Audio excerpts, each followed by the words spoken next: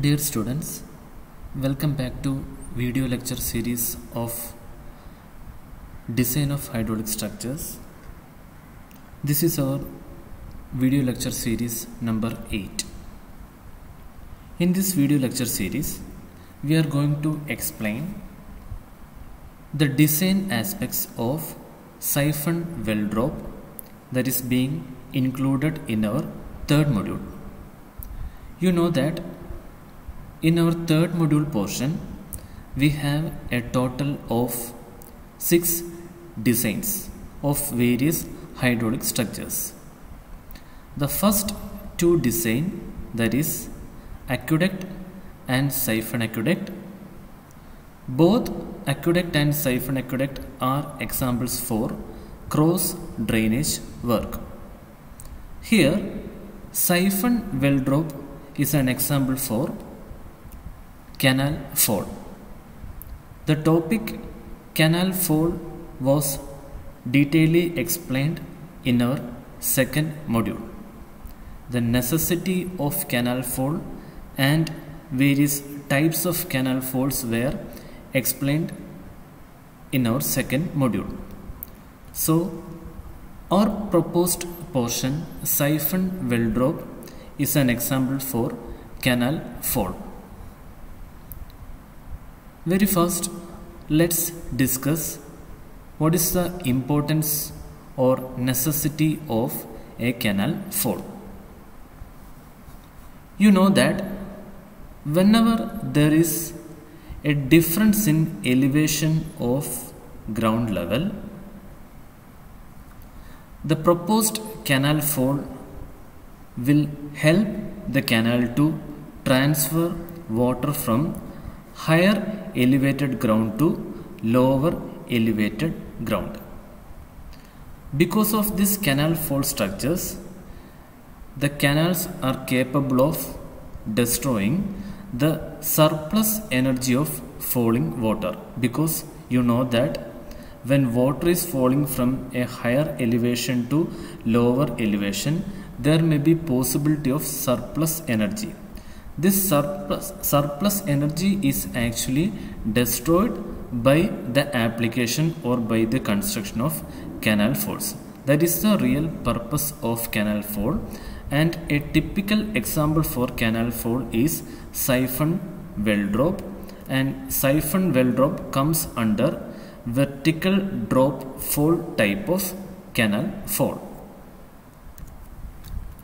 Coming to the details of a siphon well drop.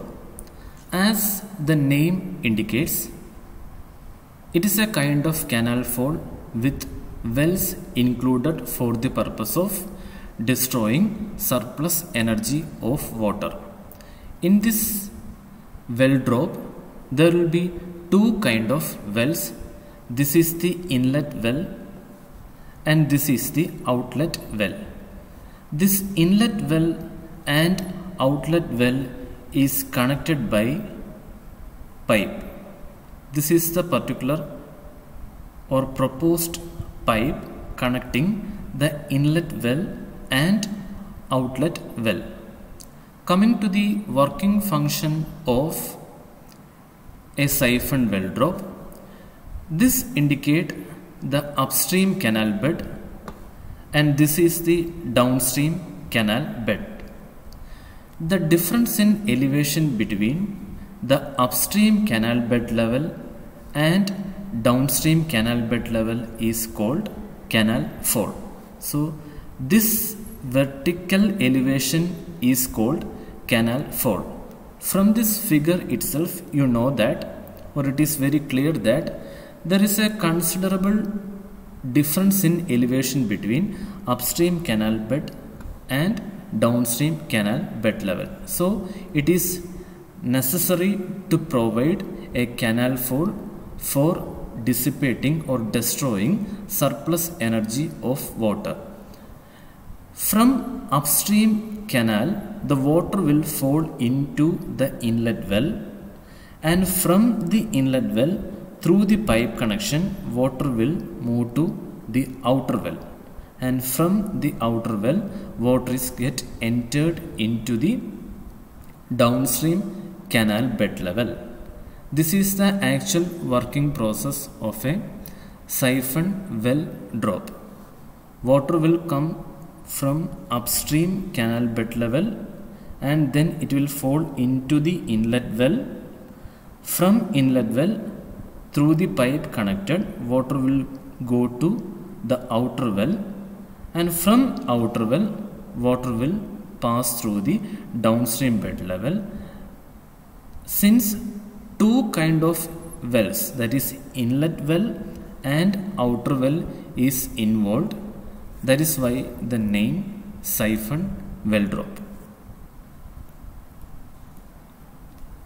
Coming to the question of a siphon well drop. Question is design a siphon well drop for the following particulars. The dimension of the fall is given. Fall means it is the elevation difference between upstream canal bed level and downstream canal bed level that is 3.8 meter. Full supply depth most commonly the full supply depth is given for the upstream canal and the full supply depth is 75 centimeter that is 0.75 meter. Now the general ground level is 163.36 meter. Upstream canal bed level is given to you that is 162.83 so keep on remembering you know the upstream canal bed level. This upstream canal bed level plus this full supply depth will give you upstream full supply level. Now the discharge through the canal is 1 cumex bed width at upstream and downstream is equal to 2.4 meter. The length of the pipe connecting the inlet and outer well equal to 12 meter. This is the pipe connecting inlet and outer well and the length of the pipe is given as 12 meter. Moving to the very first step that is design of trapezoidal notch. Before going to the details of design of trapezoidal notch, let's see where this trapezoidal notch is being installed. A trapezoidal notch in siphon well drop is placed at the upstream canal bed level means when water is falling into the inlet well it is passed through such kind of a trapezoidal notch. And the trapezoidal notch is placed here. As it is a section you cannot view the trapezoidal shape in this section. The trapezoidal notch is actually placed here this is the cross section of a trapezoidal notch this is the full supply depth through the canal and the water is falling through the notch into the inlet well. L indicate the bottom width and top width is indicated by capital T. This particular angle is denoted by alpha. Now let's move to the design procedure of this trapezoidal notch. In question it is given that canal discharge is equal to 1 cumex. Now the basic equation for discharge through a trapezoidal notch is given by this equation where C is the coefficient of discharge you can assume it as 0.7 and D is the depth of flow. L is the bottom width. And N. N equal to 2 tan alpha where alpha is the angle between the side of the trapezoidal notch and the vertical. Coming to the details of this equation, in question it is given that full supply depth equal to 75 centimeter that is 0.75 meter. For the solution we need to calculate the half supply depth also. Normally for notch we take half supply depth as 0.66 of D. So here half supply depth will be equal to 0.66 into 0.75. The discharge through the notch is given in question that is 1 cumex. You know that L is the length of the notch or it is the width of the sill. Sill means the bottommost portion of the notch is called the sill level. Again coming to the solution of the dimensions of the trapezoidal notch first let's consider the full supply depth. For the full supply depth discharge value will be full. For full discharge it will be 1 cumex given in question. 1 equal to for full supply condition this discharge 1 equal to 2.99 into C value is given or you can assume 0.7 since it is a full case you have to consider full supply depth. And the value of L is unknown to you. Plus 0.4 N value is also unknown to you. And D value you know for full supply it is 0.75 meter. Then you will get an equation equation number 1 where L and N are the unknowns.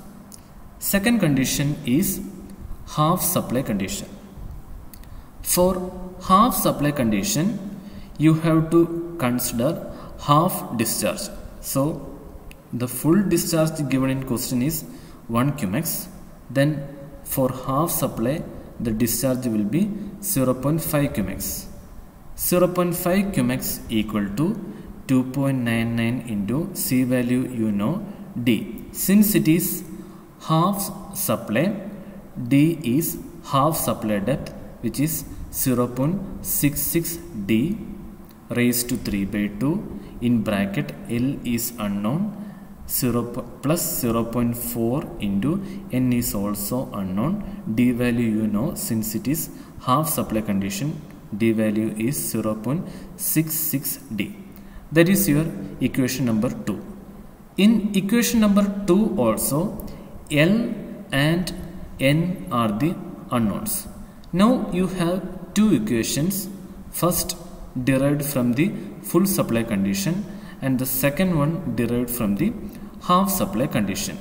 You can solve equation 1 and 2 then you can find the unknown parameters that is L, N if you know the value N then you can find the value alpha that is 13.49 degree. So these are the parameters L or the bottom width equal to 0.59 n equal to 0.479 and the angle alpha will be 13.49 degree you can mark these parameters in this figure. And if you know this value alpha you can calculate this x. This x will be same here also. If you know x bottom width and then again x you can calculate the top width. Now moving to the next step that is the dimensions of notch. After getting all the dimensions of the notch you can draw a cross section.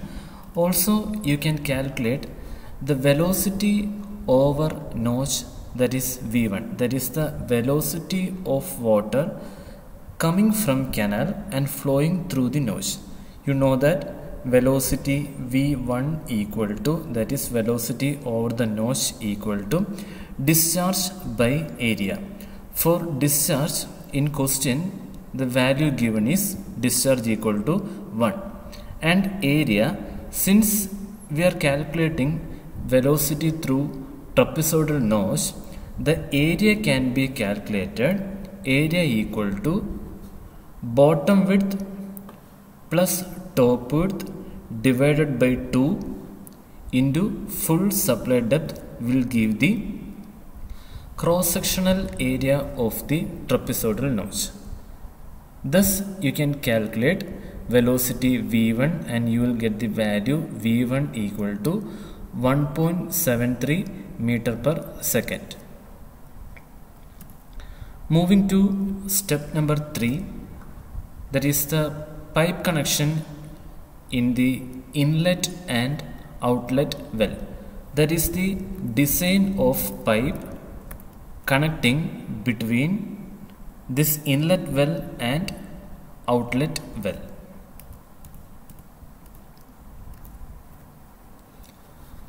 for this time we can assume a pipe of diameter 1 meter if it is not given in question you can assume a pipe of diameter in the range 0.5 to 1 meter. For the time being here we are assuming the diameter of the pipe to be 1 meter.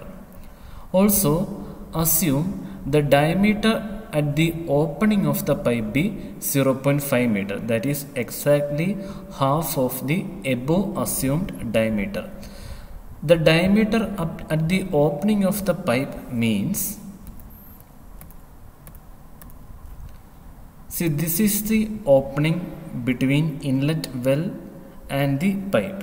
Here the diameter is assumed to be 0.5 and for the rest of the pipe the diameter is assumed to be 1 meter.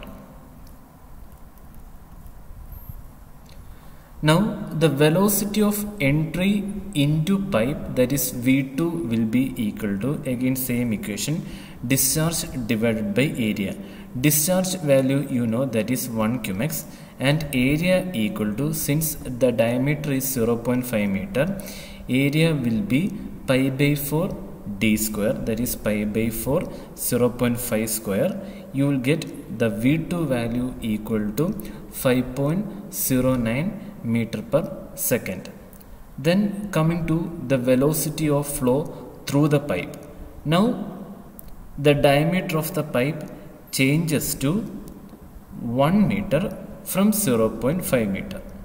So while calculating the velocity that is V3 discharge divided by area discharge you have the same value that is 1 cumex and area will be equal to pi by 4 1 square you will get the value v3 equal to 1.27 meter per second now the next step loss of head between the inlet well and downstream full supply level that is indicated by the loss of head HL that will be equal to entry loss plus expansion loss plus friction loss plus exit loss. Let's see each of these losses. First one is entry loss. You know that when water is getting entered into this pipe from inlet well, there will be an entry loss. Then you know that there will be expansion loss because at the opening the diameter was only 0.5 meter from that small dia it is expanding to 1 meter so there will be minor loss due to expansion loss. After that water is traveling through the pipe. From question you know that the length of the pipe is 12 meter. So while water flows through this 12 meter length pipe there will be major friction loss. And at the end from pipe the water is get exited to the outlet well. So there will be exit loss so in effect the total head loss will be equal to entry loss plus expansion loss plus friction loss plus exit loss.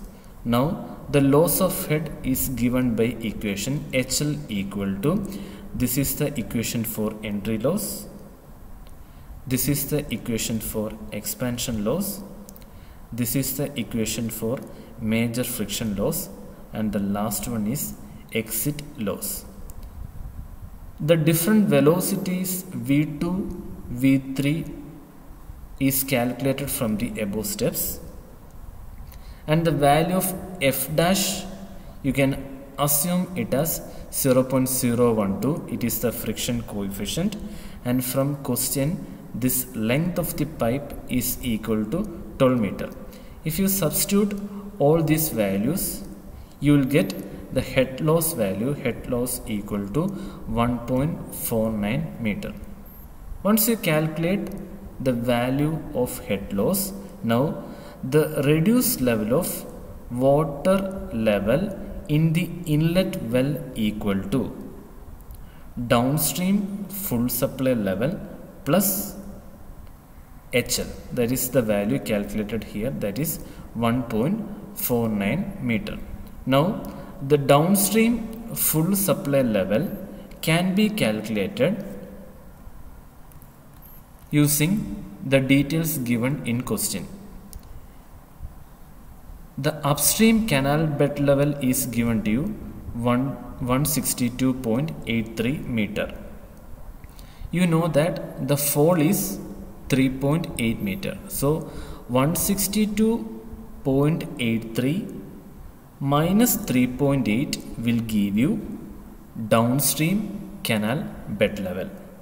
From downstream canal bed level, if you add the full supply depth 0.75 meter then you will get downstream full supply level you can calculate the downstream full sub full supply level this downstream full supply level plus head loss that value will be 161.27 you can check this value and that will give you that is 161.27 is the reduced level of water level in the inlet well.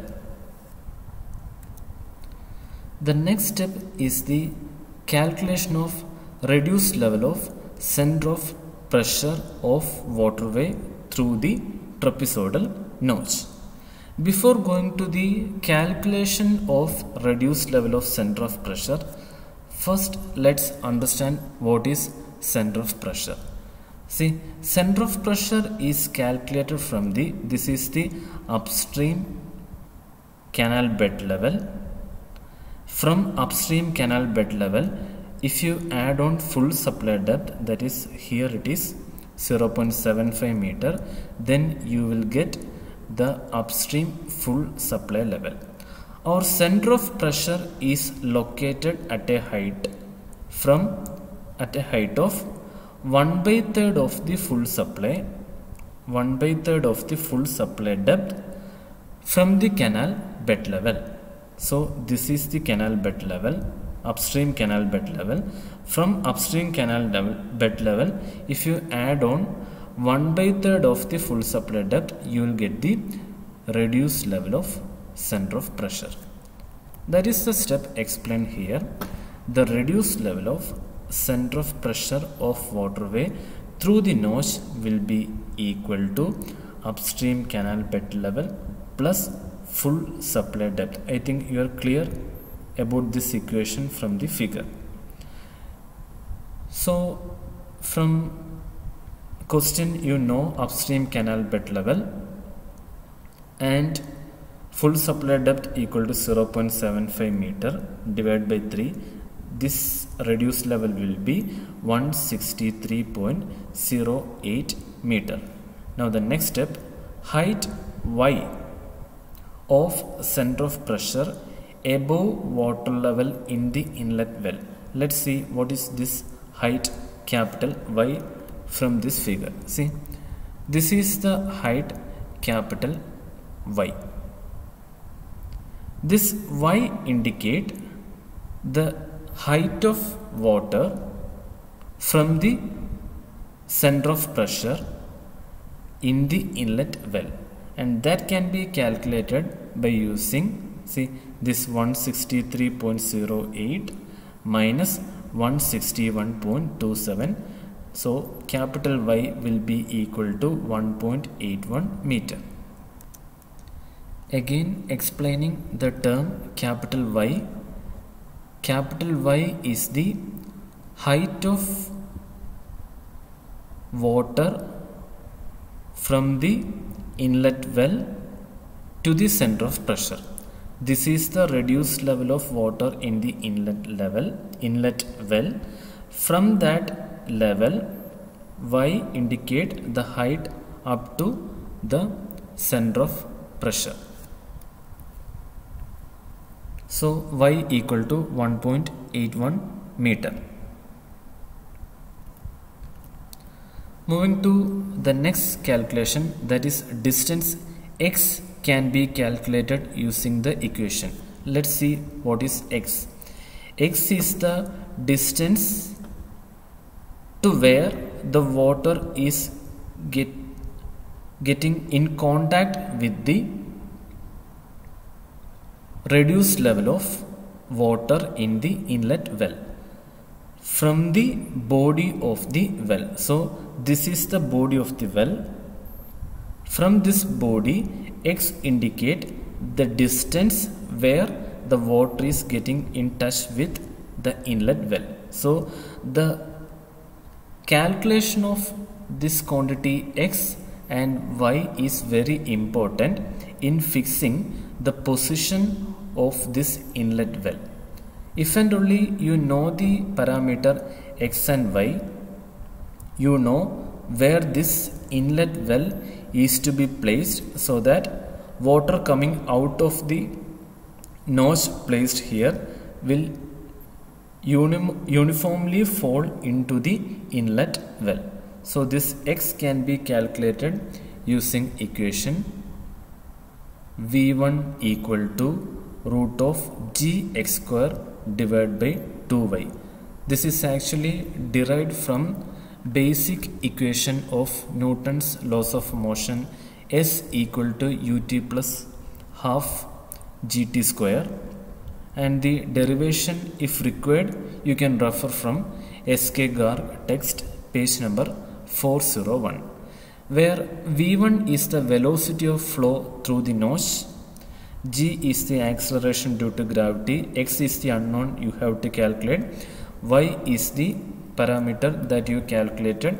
Here that is 1.81 if you substitute the parameters then you will get the value of x equal to 1.03 meter. So you got the value x and y. This value of x and y is very important in in fixing the position of the inlet well. Now moving to the last step that is step number 4 here comes the design of wells. Here we are going to design the diameters of the well that we are going to provide. First the diameter of the inlet well is equal to 1.5 times of x.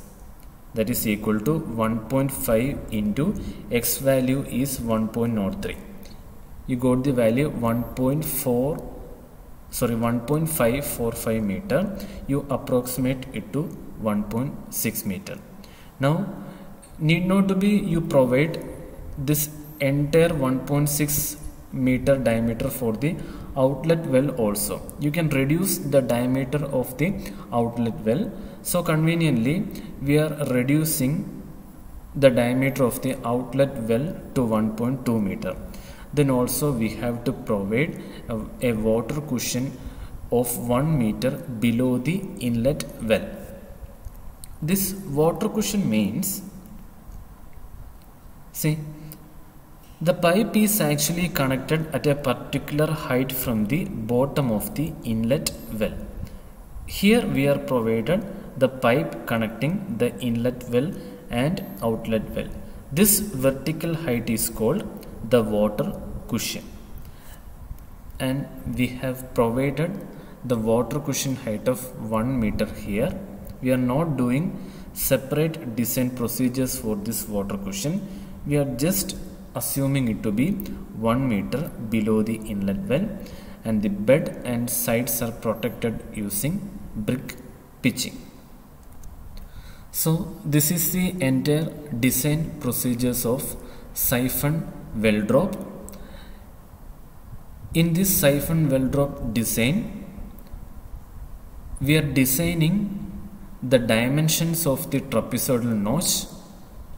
Then we are designing the velocity of flow through trapezoidal notch, velocity at entrance and velocity of flow through the pipe Using this velocity, we are then calculating the head loss value. After finalizing the head loss value, we are calculating the x and y parameter because the x and y parameters are very important in fixing the position of the inlet valve. And the last step is to design the dimensions of the inlet well and outlet well. That is we are fixing the diameter of the wells provided at inlet and outlet. This is all about the design of siphon well drop. Thank you